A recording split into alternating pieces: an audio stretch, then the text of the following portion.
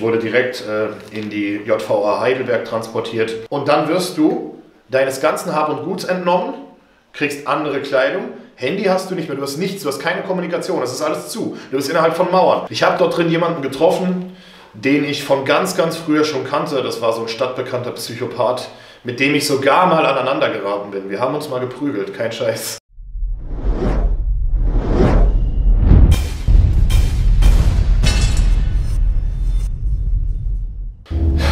Ging zurück nach Heidelberg. Ich hatte noch ein paar schöne Monate. Wir haben unser Ding gemacht, dann hat Heidelberg zugemacht. Eigentlich begann da für mich erst die richtige Haftzeit. Denn Heidelberg war tatsächlich, dadurch, dass schon Aufbruchstimmung war, es waren noch wenige Gefangene dort, es war entspannt. Es war familiär. Und ich hatte auch sehr viele Freiheiten. Natürlich durfte ich nicht raus oder irgendwas oder telefonieren. Es wurde sich an alle Regeln gehalten. Es war immer noch U-Haft. Aber als ich in die Strafhaft versetzt wurde, war ich nur noch ganz kurz in Heidelberg. Dann hat Heidelberg zugemacht und dann wurde ich in die JVA Mannheim verlegt. Das ist ein Gefängnis. Und was für eins.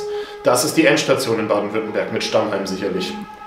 Und ich war mal vor Jahren in U-Haft in der JVA Mannheim und habe da auch schon, wie ich vorher erwähnt habe, ordentlich auf den Tisch gehauen, habe mich da nicht beeindrucken lassen.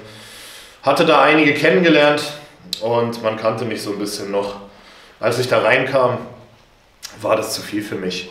Ihr müsst euch vorstellen, das ist, im, das ist ein Sternbau und jeder, sage ich mal, Strahl des Sterns ist mehrere Stockwerke hoch und dazwischen sind Gitter. Und da sind seitlich kleine Wege.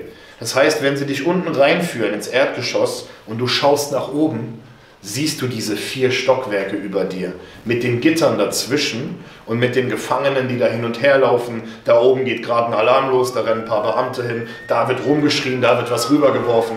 Und ich, ich habe sofort ein Flashback bekommen und konnte mich genau daran erinnern, dass ich da fünf, sechs Jahre zuvor schon mal stand und sagte, na gut, dann wollen wir mal. Und dieses Mal dachte ich mir, ich kann das nicht. Ich kann das einfach nicht. Allein wenn ich gehört habe, wie die miteinander reden, ich konnte das nicht. Es war nicht mehr meins, ich war das nicht mehr gewohnt. Und, und das war so der Moment, wo ich mich kurz wirklich doch gefragt habe, ob das klappen kann, ob ich das schaffen kann. Denn Fakt ist, ich bin nicht mehr dieser Typ, der hier vor Jahren mal war. Und genau in dem Moment, als ich das dachte, kam mir wirklich der Erste entgegen und sagte, wow, Mike. Und ich habe ihn angeschaut und der Typ war einfach immer noch da. Das war einer, der war eben vor den besagten fünf Jahren oder so, war der mit mir auch da. Da war er auch in U-Haft und äh, er war jetzt immer noch da. Er hat wohl einen Achter kassiert, hat er gesagt, er hat acht Jahre bekommen und er äh, ist noch eine Weile da. Und hat gleich allen gesagt, boah, das ist der Mike, ist ein Kampfsportler, er ist ein harter Typ und so weiter, aber der ist korrekt und hier und da. In dem Moment habe ich verstanden, ich hatte auch ein bisschen das Aussehen dazu, und in dem Moment habe ich wirklich verstanden, okay, es stimmt, ich bin nicht mehr der Typ, der das hier so durchbringen kann. Aber Fakt ist, ich habe dadurch, dass mich manche von vorher noch kennen, habe ich zumindest einen gewissen Respekt, der dafür sorgen sollte, dass mich die Menschen in Ruhe lassen. Ich kann ich sein, ich kann entspannt sein. Ich wollte ums Verrecken nicht zu dem werden, der ich vorher war um hier zu überleben. Das wollte ich nicht. Ich wollte genauso bleiben, wie ich bin.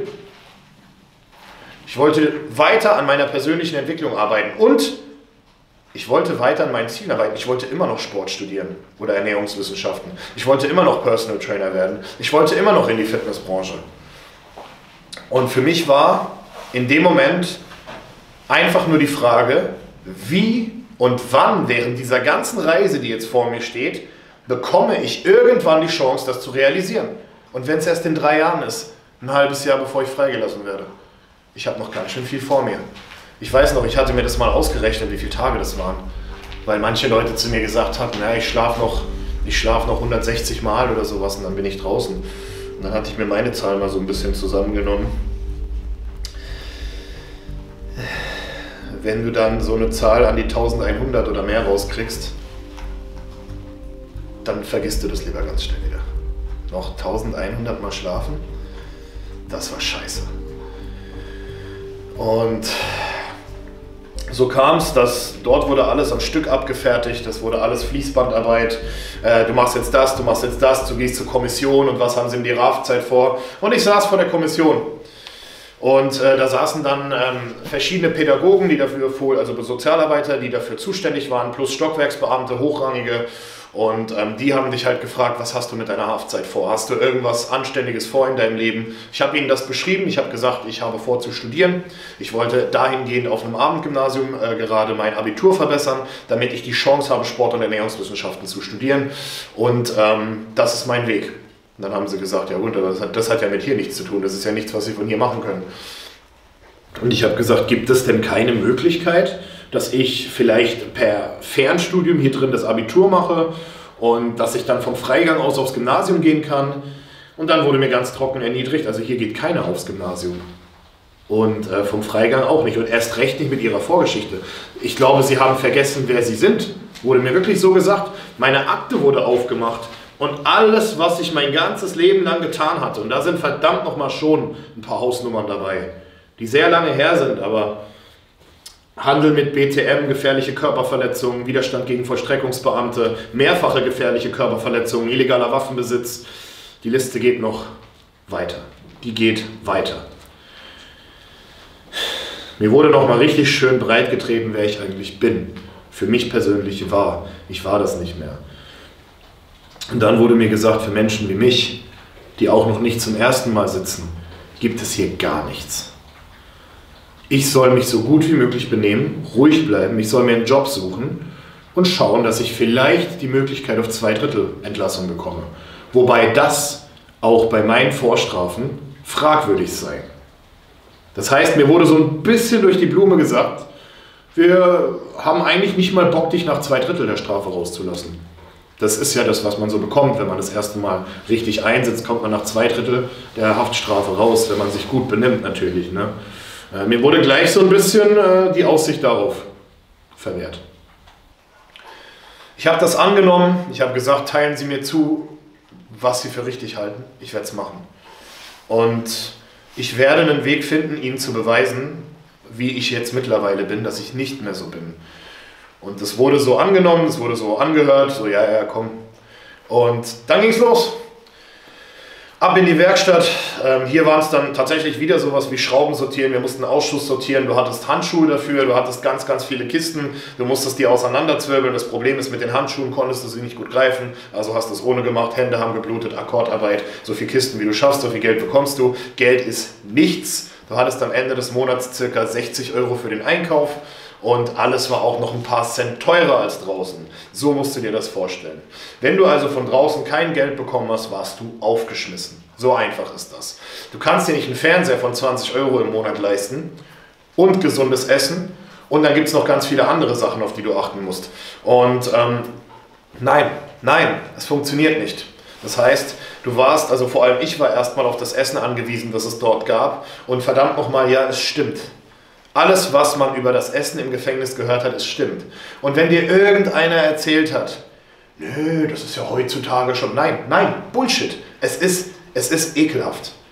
Es ist weich, eklig, die Soße ist fest vom ganzen Weizen und du hast so kleine Stücke Fleisch. Ich habe Leute aus der Küche gekannt, die mir gesagt haben, das Zeug hat regelmäßig Gefrierbrand, das wird trotzdem da reingehauen. Es ist alles wahr, was man gehört hat und das schmeckt man auch und das spürt man auch. Ich hatte die ersten zwei bis drei Wochen die übertriebensten Magenprobleme. Ich hatte Verstopfung, ich hatte Schmerzen, das Brot war so trocken, dass ich, keine Ahnung, und trotzdem hast du Hunger, du isst es ja. Und so hast du dein Leben jetzt einfach mal gelebt. Ich habe mein Training weitergemacht, ich habe äh, mir Mühe gegeben, einfach mein Ding zu machen. Ich habe mich für den Kraftsport eingeschrieben, dann hieß es, der Kraftsport ist so überfüllt, du kannst nur rein, wenn jemand rausgeht. Das heißt, ähm, also in der Regel sind es zwei bis drei Monate. Ah, okay. Und dann? Na, dann ist das zweimal die Woche, 45 Minuten. Du wirst abgeholt, kannst im Keller und dann wirst du wieder geholt. Zweimal die Woche. Also ging es auch hier genauso weiter wie in Heidelberg. In Heidelberg hatte ich zuletzt mit dem Freund, sage ich mal, den ich dort gewonnen hatte, hatte ich sehr, sehr viel Bodyweight trainiert. Wir haben uns ein Buch besorgt, Fit ohne Geräte, von einem Ex-Navy SEAL. Und mit diesem Buch konntest du da, wo du bist, mit den allerspärlichsten Mitteln unglaublich gut trainieren. Wir haben in der Zelle trainiert, wir haben auf dem Gang trainiert, täglich. Wir haben angefangen, Kampfsport zu trainieren. Ich hatte ja eine sehr lange Zeit Kampfsport gemacht in meinem Leben. Er hatte sich immer dafür interessiert. Und wir hatten auch etwas Hilfe, dort war noch der ein oder andere, der da sehr versiert war. Lustigerweise kann ich hier sogar verraten, es war auch ein Beamter mit dabei. Ich weiß, die werden immer Wärter genannt, aber das sagt keiner, das sind Beamte, Punkt. Das sind keine Wärter. Die werden entweder Schließer oder Beamte genannt. Schließer ist meistens schon mal so ein bisschen abwertend wieder, deswegen, wir haben die immer Beamte genannt einfach. Ne? Oder Chef oder nach seinem Namen einfach. Ein Beamter dort hatte einen verdammt hohen Grad im Jiu-Jitsu und hat uns mal erwischt. er hat uns erwischt, wie wir gerade quasi übereinander hergefallen sind. Ich glaube, ich hatte, ich hatte den Simon hieß er. Ganz liebe Grüße, falls du das siehst, Simon. Ich hatte Simon gerade im Triangle Choke und ähm, dann ging die Tür auf und er schaute uns an, wie wenn er sagen würde, was, was macht ihr denn? Es ist ja verboten sowas, ganz, ganz klar, ist ja verboten. Und ähm, wir haben ihn auch nur entgeistert angeguckt und er hat einfach sein Funkgerät abgestellt und hat gesagt, holt euch, wenn ihr wollt. Und hat gegrinst und dann ist er auf uns zugegangen und hat mich runtergenommen und hat gesagt, nee, Simon war auf mir, Simon runtergenommen, genau, und hat gesagt, mach das mal bei mir, ich zeig dir mal was. Und dann habe ich das gemacht. Ich dachte, er will mich verarschen. Und dann habe ich das wirklich gemacht und dann hat er, während ich das versucht habe, hat er wirklich umgegriffen, hat sich umgedreht, hat sich irgendwie reingedreht und hatte mich dann. Und dann war ich erstmal perplex und hat er gemeint, wenn du das so und so machst, dann kann das ja gar nicht klappen. Du musst hier zumachen, du musst da ziehen, du musst dieses. Und ab dem Moment haben wir den genervt. Aber jeden Tag. Wir sind immer, wenn der irgendwie auf der Station war oder so, sind wir immer um die Ecke gekommen, haben ihn so angegrinst und dann hat er kurz geguckt, dann hat er angefangen, uns sowas zu zeigen. Er wusste, dass wir gute Jungs sind. Er kannte uns schon ein bisschen, wir waren schon eine Weile da und er wusste einfach, wir tun niemandem was. Außerdem waren wir fast die einzigen Gefangenen dort, es war schon fast zu Ende. Und das hat uns die Zeit unglaublich verschönert. Wir haben echt intensiv trainiert, wir haben unser Bodyweight gemacht, wir haben unseren Kampfsport gemacht. Wir waren wirklich, ähm, Simon hat es mal zu mir gesagt, kurz bevor ich gegangen bin, hat er mich wirklich gedrückt und hat gemeint, ich möchte dir dafür danken, dass ich durch dich ein paar Mal wirklich vergessen habe, dass ich im Gefängnis bin. Und so war's. Also dachte ich mir, komm schon, nochmal von vorne das Ganze. Ich will hier keine Freunde finden oder so, aber ich gehe raus, ganz alleine, schaue mich um, irgendwo und fange direkt auf dem Boden an. Einarmige Liegestützen, da sind die ersten schon stehen geblieben und meinen, okay. Und habe weiter trainiert, habe mein Ding gemacht, habe meine Übungen gemacht, bin dann noch ein bisschen im Kreis gelaufen und dann wieder hoch essen. Nichts anderes habe ich jeden Tag gemacht. Jeden verdammten Tag ging das so weiter. Ich war arbeiten, ich habe im Hof mein Training gemacht und so lief es dann einfach. Mit der Zeit wurde der ein oder andere darauf aufmerksam, hat mich gefragt, ob er mittrainieren kann. Ich habe eigentlich immer das Gleiche gesagt. Ich habe gesagt, das Allerwichtigste ist wirklich, ich will keinen Stress. Wirklich, ich will absolut keinen Stress. Ich will mit niemandem zu tun haben, der Stress macht. Ich will mit niemandem zu tun haben, der sich hier irgendwelches Zeug holt und sich dann zuknallt und am nächsten Tag erwischt wird. Ich will mit diesen ganzen Leuten nicht gesehen werden. Wenn du einer von denen bist, der vertickt, dann bitte bleib weg von mir. Und wenn du einfach nur trainieren willst, dann gerne.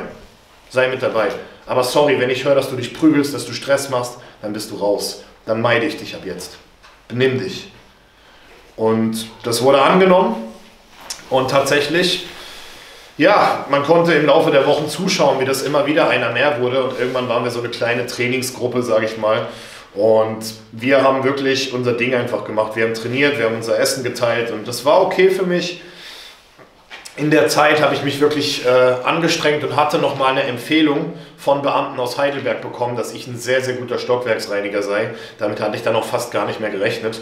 Und so wurde mir die Chance gegeben, das auch dort auszuüben. Was für mich gleich wieder der Schlüssel dazu war, ich hatte das gehofft, wirklich. Ich hatte nicht mehr daran gedacht, aber ich hatte gehofft, mein Weg muss irgendwie sein, dass ich auch hier Stockwerksreiniger werde, damit die Leute mich mehr erleben, damit sie mehr sehen, wer ich bin. So kam es. Also habe ich den Job auch dort gemacht. Ich kam ein bisschen mehr in Kontakt mit allen. Ich war eigentlich immer so ein offenes Ohr für viele. Ich war mit den Beamten auch cool. ich habe einfach mein Ding gemacht. Ich habe einfach mein Ding gemacht. Ich hatte Besuch zwischendurch. Meine damalige Freundin kam das ein oder andere Mal. Ein sehr guter Freund von mir war auch tatsächlich öfter mal da als einer der einzigen und hat an mich gedacht. Also es war schon so, dass ich so ein bisschen eine Verbindung nach draußen hatte. Ich habe nicht geraucht, in diesem Sinne habe ich mir Tabak bringen lassen. Tabak ist die Währung da drin.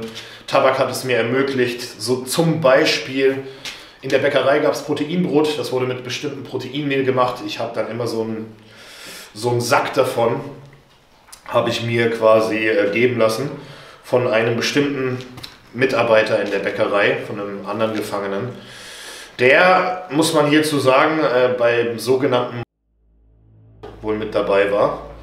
Ich habe mal so einen kleinen Blick in seinen, ähm, in seinen Haftbefehl geworfen und äh, das war schon sehr unschön, was da drin stand. Er hatte lebenslänglich, das, das weiß, das wusste ich. Ähm, ich sollte erst im Nachhinein erfahren, was genau er getan hatte und ähm, da war mir dann auch nicht mehr ganz so lieb, mit ihm Geschäfte zu machen und ich wollte das eigentlich canceln. Ich wollte mit ihm nichts zu tun haben. Da ging es wirklich auch um die Ermordung mehrerer Frauen und die Art und Weise, wie das abgelaufen sein muss. Das, das war einfach nur, ich möchte das jetzt hier nicht weiter ausführen, das war, da ist mir ein eiskalter Schauer den Rücken runtergelaufen. Und auch welche Art von Mensch wirklich auch auf, auf wirklich auf Wehrlose bewaffnet und ah, ich wollte das nicht mehr und ich war fest überzeugt, es ihm zu sagen, wenn ich das nächste Mal mein Mail quasi abhole. Wie es der Zufall so wollte, ähm, habe ich plötzlich viel weniger bekommen und war, stand dann bei ihm in der Zelle. Das war die einzige Situation in der ganzen Haftzeit, in der es wirklich brenzlig geworden ist, kann man sagen. In der ich auch wirklich einmal laut geworden bin und bereit war zu tun, was nötig gewesen wäre. Vielleicht war es auch nur ein Bluff. Ich wusste es in dem Moment nicht. Ich wusste es nicht. Aber ich erzähle euch gerne über die Situation. Ich wusste, das ist ein Mensch, der mit Messern und anderen Waffen andere Menschen tötet. Wehrlose Menschen. Prostituierte, wie auch immer. Ich stand da drin, habe gesehen, dass er mir weniger geben möchte als sonst, habe ihn gefragt, was das soll. Ich habe schon bezahlt, das können wir jetzt nicht machen. Ne? Das hat mich natürlich noch wütender gemacht. Auf der anderen Seite dachte ich, jetzt hast du einen Grund, das sein zu lassen ist eigentlich gut. Ne? Aber du darfst halt auch keine Schwäche zeigen. Das funktioniert wirklich nicht. Das darfst du da drin nicht machen. Wenn du das mit dir machen lässt, dann versucht es ab da jeder mit dir. Und das sind leider Situationen, aus denen man einfach schauen muss, dass man sich wirklich elegant und trotzdem ohne Gewalt herausbekommt. Das ist ganz wichtig. Denn wenn du in dem Sog einmal drinne bist, dann macht das schnell die Runde. Dort drin weiß jeder alles. Und ab da bist du auch auf dem Schirm von den Beamten. Und sowas kann dir deinen Bericht versauen, sowas versaut dir den Freigang, sowas versaut dir alles. Sowas macht aus einer Halbstrafe von 42 Monaten, an die ich ja nicht mal hätte denken können, also 21 Monaten, hätte ich niemals bekommen können. Da haben die drüber gelacht, als ich das gesagt habe.